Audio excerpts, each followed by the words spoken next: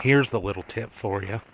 If you want to go ice fishing but you didn't bring an auger, just go to a popular ice fishing place and then wait till somebody leaves. And suddenly you got a fishing hole.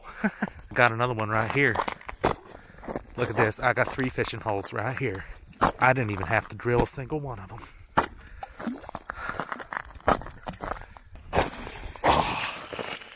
Booyah! And that is how it's done.